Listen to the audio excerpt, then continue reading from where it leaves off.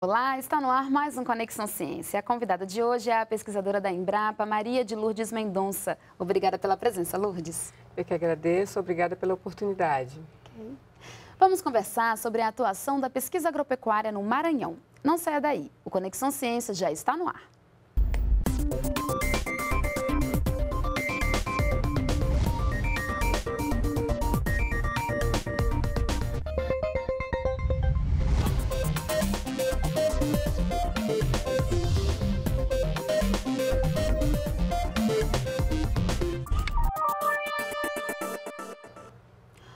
Maranhão é conhecido por possuir uma das maiores diversidades de ecossistemas do país. São praias, floresta amazônica, mangue, cerrado, rios e cachoeiras. Mas também é um dos estados com um dos menores índices de desenvolvimento humano, superior apenas ao de Alagoas. Vamos saber agora como a pesquisa pode ajudar no desenvolvimento social e econômico da região. Lourdes, então hoje qual é a situação né, atual do Maranhão no que diz respeito à renda, à segurança alimentar e outros indicadores também? O Maranhão é um estado peculiar, né? porque apesar de ter uma grande diversidade de ambientes, né? tem três biomas, bioma Amazonas, Cerrados é, e Caatinga, né? o semiárido que nós chamamos, uma diversidade de solos, de clima, de condições sociais, condições econômicas, mas há um grande descompasso entre o PIB e o IDH. O PIB é o quarto do Nordeste, é o 16º, 17º do país, mas o IDH é, são índices muito baixos, né? O IDH do Estado é baixo e alguns municípios do Estado possuem o IDH, o Índice de Desenvolvimento Humano, dos mais baixos do país. Entre os 100 municípios mais baixos, com IDH mais baixo, o Maranhão tem 33 municípios nessa situação. Então, é uma condição de pobreza e a pobreza atinge também, muito, a área rural, né? Então, não se pode pensar em desenvolvimento para o Estado sem levar em consideração a sua população rural, que ser quase metade da população do Maranhão é, está na zona rural, trabalha com o agro, com a agricultura Sim. de alguma forma. Uhum. Então não se pode pensar em desenvolvimento sem pensar no setor rural. E a ciência é um vetor, a ciência, a tecnologia é um vetor reconhecido de desenvolvimento, né? uhum. né?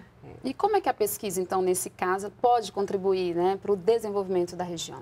O grande exemplo acontece com o que a Embrapa foi capaz de realizar na agricultura do país. Uhum. Na década de 70, eh, nós importávamos a maior parte dos nossos alimentos.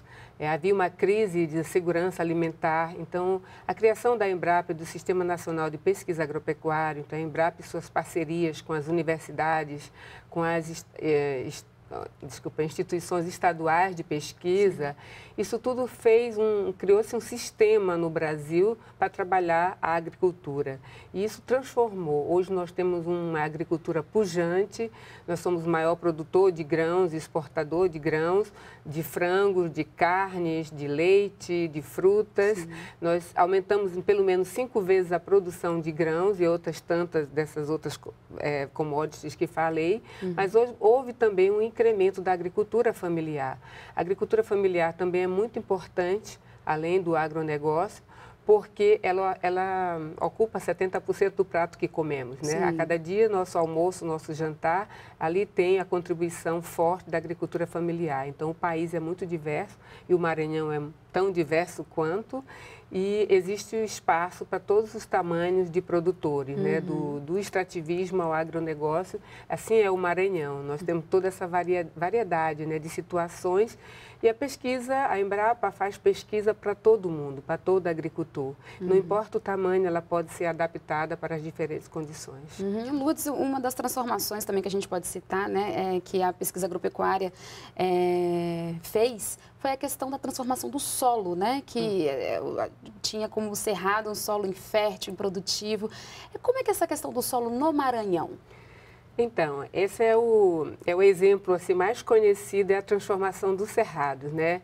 É um solo, são solos é, profundos, antigos, bem drenados, mas muito pobres em termos de fertilidade. E foi o conhecimento, é investimento que a Embrapa fez, a Embrapa, as universidades em conhecimento, que nos fez saber que, com a correção do solo, com a devida é, fertilidade, ele poderia se tornar e muito bem para a produção de grãos, porque ele tem excelentes condições físicas. Sim. Então, a, a, os grãos, a, a organização do solo, a profundidade, isso aí compensa o que ele não tem de fertilidade. A fertilidade pode ser adicionada.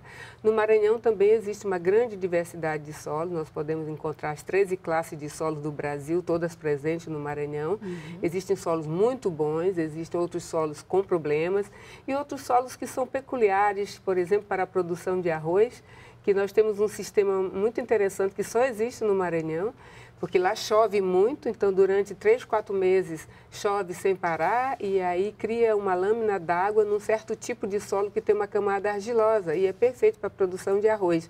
Hum. Então é uma, uma, situação peculiar do Maranhão, mas só para exemplificar que tem diferentes situações de solos, de ambiente, de climas Sim. e de situações socioeconômicas. Então é um, é um falando já um país, né?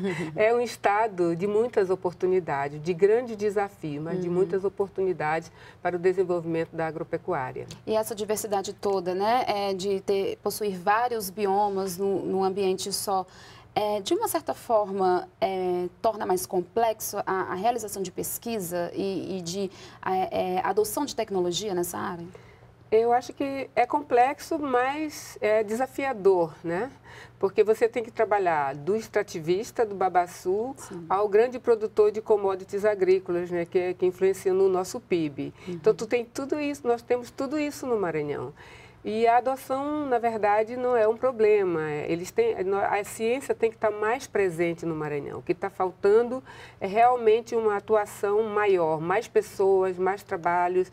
Hoje nossa equipe é muito pequena e nós temos que trabalhar com parcerias, os parceiros, as instituições estaduais, federais, as universidades, todas as secretarias de governo, né? Lá tem uhum. duas secretarias, é uma de agricultura e outra de agricultura familiar. Então já é também mostrar importância que as duas têm. Uhum. Então, nós trabalhamos em parcerias, porque senão seria impossível a capilaridade para todo o Estado. Uhum. É um uhum. Estado com 33 milhões de, de hectares, é um Estado do tamanho da Itália, bastante diverso e que realmente temos que trabalhar em parceria, mas precisamos de uma equipe maior atuando em sinergismo no Estado. Uhum. Ah, os agricultores, na verdade, são bastante ávidos por tecnologia. Eles precisam de tecnologia para modificar é, aquele cultivo mais tradicional, né, de corta e queima do século XIX.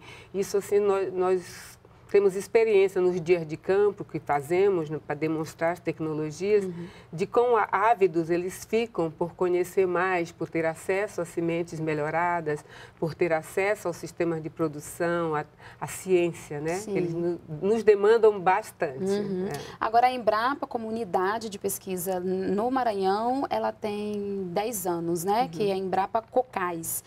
É, e qual é, é, por que esse nome, né? Sugere o quê? A, que a Embrapa só atua aonde é, tem um território cocais?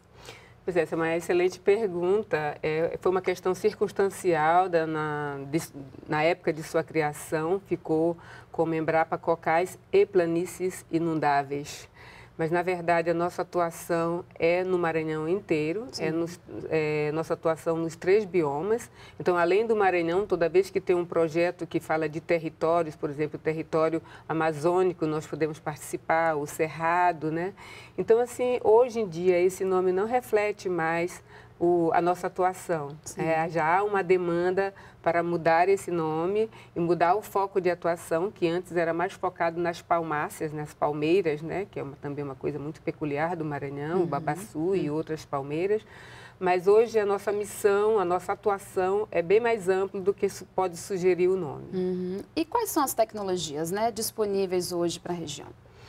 Olha, como eu falei para você, baseado nessa grande diversidade, nessa, nesse vazio tecnológico que o Maranhão ficou por bastante tempo, hoje as tecnologias elas não são diferentes do que acontece em outras regiões, no centro-sul do país, é, é, no sul. Então, há, há, demandas e eu diria que a gente pode, com conhecimento e tecnologia, pode realmente produzir qualquer qualquer produto, qualquer Sim. planta, né? quase todas, bastando adaptar também. Né?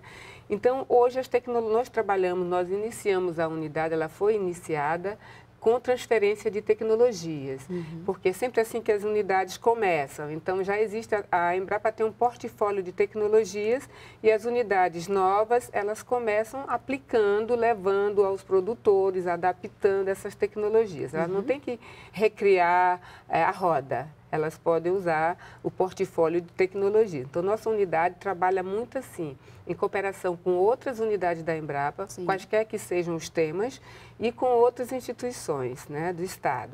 Então, por exemplo, se nós precisamos ter conhecimento da fixação biológica de nitrogênio, nós vamos fazer cooperação com a outra unidade da Embrapa, a agrobiologia, uhum. é, para trabalhar os risóbios, a inoculação das sementes, etc. Se nós, a questão do biofortificados, né, que é bastante, é uma política pública no Maranhão, uhum. nós trabalhamos com a Embrapa é, tecnologia de alimentos, né, a agroindústria tropical, ou agroindústria, que fica, no caso, no Rio de Janeiro, que lidera o projeto. Sim. Então, cada vez que nós precisamos de uma tecnologia, é, nós buscamos nas outras unidades da Embrapa. Enquanto isso, nós também estamos desenvolvendo pesquisas. Porque, por exemplo, nós já lançamos duas cultivares de arroz específicas para o Maranhão. Sim. Uma cultivar de arroz leva 10 anos de estudo para ser, até chegar ao ponto de ser lançada no mercado. Uhum. Então não é do dia para a noite, você não tem que recriar, você pode pegar uma cultivar que já estava e adaptá-la para as condições. Uhum. Mas o Maranhão já recebeu duas cultivares é, adap novas, adaptadas para as situações do Maranhão. E de soja são várias cultivares, porque como você bem lembrou no início do programa, na verdade a Embrapa está atuando no Maranhão desde a década de 70, com experimento de soja no sul do país, começou por ali. Sim. Embora a unidade, o Centro de Pesquisa Ecorregional, só tenha começado em 2010. Uhum. Tá certo, Lourdes. Então, daqui a pouco nós continuamos a nossa conversa, ok? Obrigada. Vamos para um rápido intervalo e voltamos já.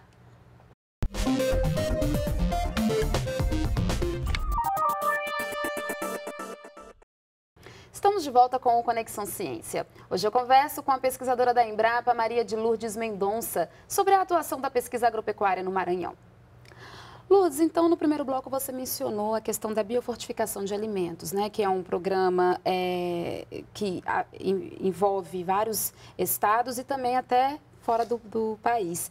Como é que está esse programa no Maranhão? Então, o Maranhão, o programa, na verdade, é um programa internacional, né? o Harvest Plus, que é da Fundação Bill e Melinda Gates, Banco Mundial. É, no Brasil, ele se chama, tem uma rede, Bioforte, Sim. e essa rede está em vários estados. Né? A Embrapa, que coordena isso, é a agro, agroindústria de alimentos, de né? alimentos né? Uhum. no Rio de Janeiro. E no, o Maranhão, na verdade, abraçou essa causa. Hoje nós temos um dos, acho que o melhor exemplo né, do, no país. É, recentemente a BBC fez uma matéria sobre o assunto, porque no Maranhão o biofortificado virou política pública. Então, na, quando eu, ele começou desde 2006, uhum. mas faz tempo, 2006 não, desculpa, 16, mas em 2018 nós assinamos um, um convênio de parceria com o Estado, o Estado do Maranhão, uhum. via a Secretaria de Agricultura Familiar, o sistema SAF, né? e, e hoje é uma política pública que foi assinada em 2018, na minha posse, mas que já está se estendendo a 53 municípios do Maranhão. E a, o objetivo é, tornar mais ricos os alimentos da dieta normal, cotidiana da população. Porque assim, não, não, adianta você pegar um alimento muito rico e trazer se eles não têm o hábito de comer Sim. aquilo no dia a dia. Então, se trabalha com alimentos da, da dieta diária, tipo arroz, feijão, batata, mandioca, né, macaxeira, Sim. no caso que se chama macaxeira. Uhum e, e enriquecidos. Né? A gente trabalha com ferro, zinco, no caso do, do feijão, é enriquecido com ferro, no caso da batata doce e da macaxeira, é com provitamina A, né? Então, são, são nutrientes que evitam doenças. Então, não basta... Todos nós queremos a segurança alimentar, a uhum. geração de renda, mas existe uma coisa chamada fome oculta, que é você comer alimentos que não, que não têm nutrientes suficientes, sabe? Se você comer só, sei lá, pão branco o dia inteiro, não vai ter todos os nutrientes que você precisa. Sim, uhum. Então, a história da fome oculta é essa, é a fome em nutrientes, né? Então, esse programa, ele é muito importante porque o Maranhão tem esses índices de desenvolvimento que nós falamos no início, que são baixos, uhum. é uma população muito vulnerável, né? É, com uma certa, não só a insegurança alimentar, mas principalmente as crianças e os idosos podem sofrer com a falta de nutrientes. Então, são alimentos, assim, eu diria, premium, né? Alimentos de qualidade uhum. e que hoje já estão entrando nos programas de merenda escolar, que eu acho que esse é um passo muito importante, né? Avançou tanto que esses alimentos já estão sendo comprados pelo, pelo PNAE, pelos programas de alimentação escolar. Uhum. Então, já está chegando mais às crianças, que é o público-alvo, né, de desenvolvimento. Uhum. Além né, do, do programa né, de biofortificação, é, nós temos também o RENIVA, né, que, uhum. que também tem uma atuação muito forte no Estado. Né, do que se trata o RENIVA? O RENIVA é uma rede nacional. Né, Maniva é a maneira de você multiplicar a mandioca. A mandioca é um produto importantíssimo no Maranhão, né? É, não só para a farinha, que é a base, está é, tá na base da alimentação diária do maranhense, uhum. mas fazem os beijus, fazem uma aguardente, que é a tiquira, e agora tem uma cerveja sendo feita da mandioca, não sei se, a magnífica. Né? Não estou fazendo publicidade para ela, mas é mais uma fonte de uso né, de um produto, mais uma agregação de valor a um produto da, da alimentação diária do maranhense. Sim. Então, a Reniva, é, esse aí é comandado pela, coordenado pela Embrapa Mandioca e Fruticultura, e a Reniva, então, são, é todo um processo para você conseguir mudas livres de, patogênico, de patógenos, né, livres de doenças, é, e que pode é, você conseguir uma produtividade muito melhor e sana na lavoura, né? Uhum. Você pode consegue melhor produtividade, melhor produção, produtividade e com menos doenças, né? Então você multiplica, a maneira de multiplicar é um pouco delicada, tem todo um protocolo, mas também nós já estamos em parcerias e levando essa reniva é, para chegar na, no produtor na hora certa. Uhum. Então não adianta querer plantar a mandioca amanhã, você tem que preparar as mudas com meses de antecedência. Uhum. Então é isso que o Reniva também faz, né? E esse tipo de tecnologia é, é uma demanda do próprio produtor, né? É, são tecnologias sociais, nós trabalhamos com todos, como eu falei, né? Uhum. Do, do extrativista ao agronegócio. Mas essas são, são, estão dentro da, do âmbito das tecnologias sociais, né? Que são tecnologias desenvolvidas com as próprias comunidades e que possam trazer transformações para as suas vidas, né? Para, para seu estado de desenvolvimento. Uhum. Então, são muito baseadas na segurança alimentar, na saúde, no saneamento saneamento básico, na, na geração de renda, né? Uhum. E a Embrapa no Maranhão, como tem uma população expressiva, rural e de agricultores familiares, então ela também se preocupa muito com essas tecnologias sociais. Uhum. Não só, nós também trabalhamos com melhoramento é, com a soja, trabalhamos com feijão, trabalhamos com várias é, digamos, plantas, tecnologias, uhum. mas tem um leque de tecnologias sociais para atender a, o, o agricultor familiar interessado em melhorar o seu padrão de não só de segurança alimentar, mas de renda também. Sim, inclusive também temos o, o sistema, os, os, sistemas integrados, né? É. Do que se trata os sistemas integrados é, e a importância disso, né? É, considerando é, é, essa a questão da agropecuária, atividade agrícola no estado do Maranhão. Tá.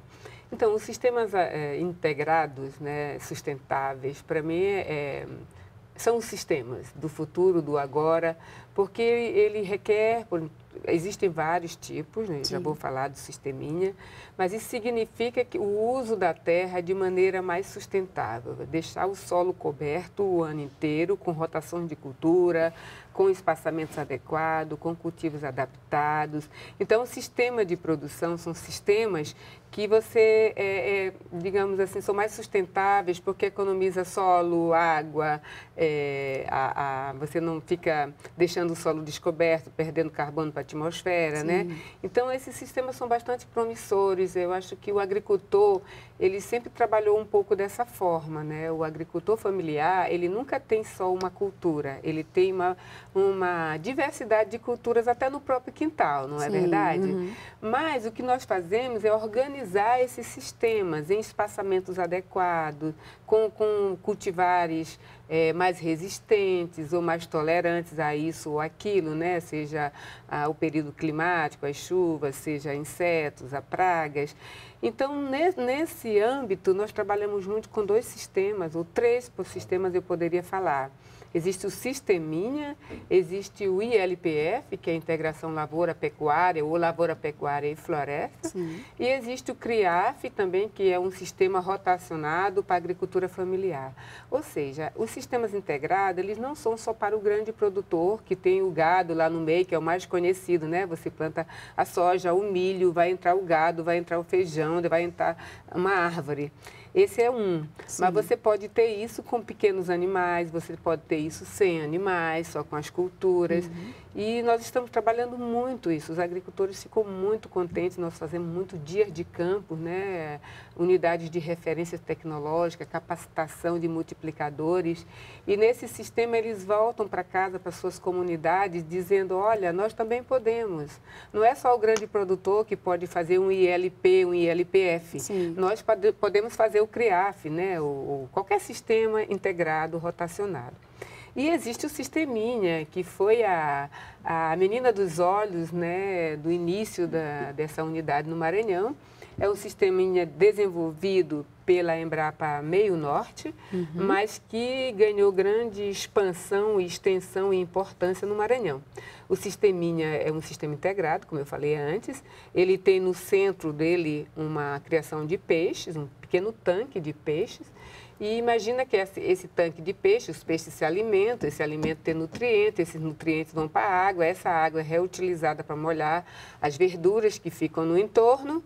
Você pode ter também a criação da galinha caipira, ou seja, para vender a galinha caipira, que é, que é muito, digamos, é, todo mundo gosta no Maranhão, é Sim. tradição também, uhum. né? Ou para vender os ovos, né? Você pode ter nesse sistema.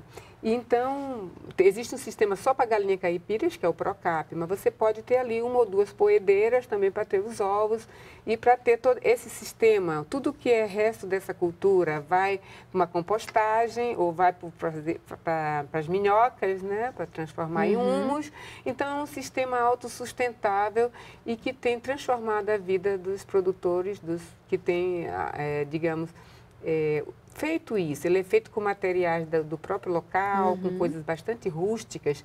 Eu acho que a única coisa que compra mais assim, evidentemente, os alevinos dos peixes, né?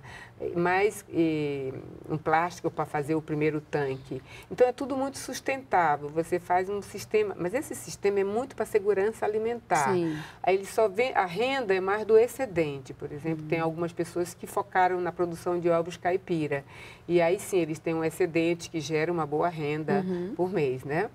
Existe o, o CRIAF, é mais para agricultores, assim, o arroz, o feijão, às vezes consociado até com babaçu. Uhum. Então, a gente está fazendo uns experimentos, a pesquisa também. A pesquisa está continuando, enquanto uhum. isso, nós vamos levando o leque de tecnologias. Uhum. E o ILPF, eu já falei, né, que nós temos grandes produtores fazendo ILPF no sul do Maranhão. Hoje, a, segundo a estatística do IBGE, já temos cerca de um milhão de hectares com integração lavoura-pecuária é, mais frequente do que lavoura, pecuária, floresta. Sim. Então, eu acho que é uma coisa muito, é um sistema bastante promissor para o Maranhão e há muito interesse já dos produtores médio, grandes, uhum. mas os pequenos, eles têm o CRIAF, né, que eles podem fazer a roça deles de maneira mais, mais integrada, uhum. rotacionada, com espaçamentos adequados. Lourdes, agora para finalizarmos, né, é, qual é a importância desse, do arranjo institucional nesse processo todo, né, das parcerias? Tá. Essa pergunta também é muito importante porque a Embrapa não poderia trabalhar sem as parcerias. Sim. E no Maranhão essa situação é crucial, né? Porque nossa equipe é pequena, nós somos só 50 pessoas, 15 pesquisadores E no meio desses 15 pesquisadores, nós temos que 7, 8, 10 pessoas para transferência de tecnologias, então é muito pouco. Então, o que, que nós fazemos? Nós trabalhamos com a Secretaria de Agricultura Familiar, né, que é a SAF, o sistema SAF, porque eles têm também a parte de extensão rural. Sim. Então, a extensão rural não é a Embrapa que faz, a, Embrapa, todo, a pesquisa para chegar ao produtor precisa da extensão rural. Uhum. Então, no, no, caso, isso é feito pelo Estado ou pelos municípios. Então, não, todo esse alcance, nós só conseguimos essa capilaridade com a ajuda com a participação dos parceiros. A outra forma é que nós fazemos muito capacitação, capacitação, capacitação de multiplicadores. Sim. Então, nós vamos capacitar os técnicos da AGERP, os técnicos da, da SAF, da Sagrima, da, às vezes da, da própria prefeitura, né? Uhum. nesses sistemas que nós trabalhamos. Nós sempre trabalhamos com unidades eh, de referências tecnológicas, né? Uhum. Você mostra para o produtor. É, só falar não basta, ele tem que olhar, ele tem que ver que está dando certo para ele poder adotar. Tá certo, Lourdes. Então, eu agradeço a sua presença no nosso programa. Parabéns pelo trabalho que está sendo realizado no Estado e sucesso, né? E vamos torcer para o desenvolvimento do Estado. Obrigada, okay? eu que agradeço a oportunidade. Tá certo. E o Conexão Ciência termina aqui. Confira os dias e horários das reprises na página da EBC ou da Embrapa na internet. O programa também está disponível no canal da TV Brasil no YouTube. Obrigada pela companhia e até a próxima semana.